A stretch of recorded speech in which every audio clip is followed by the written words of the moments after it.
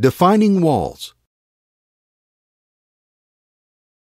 A new wall type can be defined to begin creating the screen porch.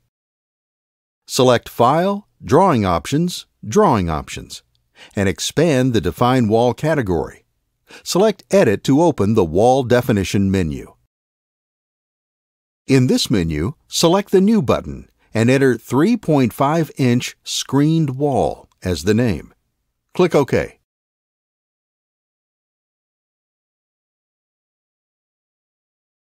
Next, wall materials can be selected to define the wall.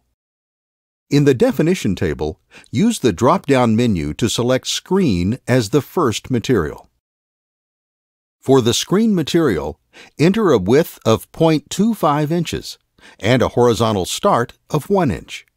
The horizontal start field will move the material the specified distance from the left side of the wall.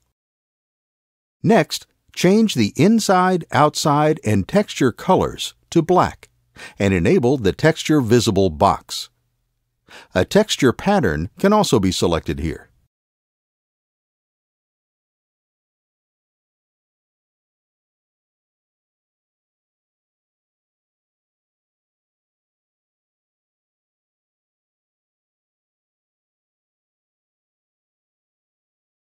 Click the Add Material button and select Solid Wood Beam.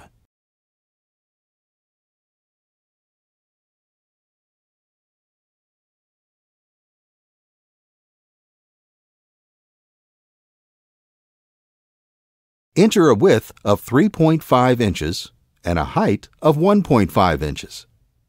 Set the horizontal start to 0 inches and check the fixed and bearing boxes.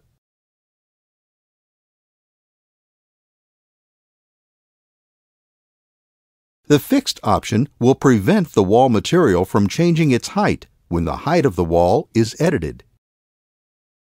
Add another new material.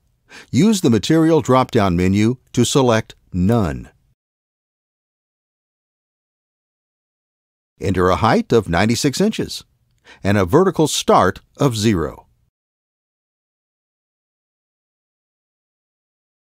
Next, select to dimension and extension both the inside and outside of the wall material. Click Add Material again. Select Solid Wood Beam for this material. Enter a width of 3.5 inches and a height of 1.5 inches. Set the horizontal start to 0 and the vertical start to 94.5 inches. Check the Fixed and Bearing boxes and select OK to exit the Wall Definition menu. The 3.5 inch screen wall can now be selected from the Wall Type menu.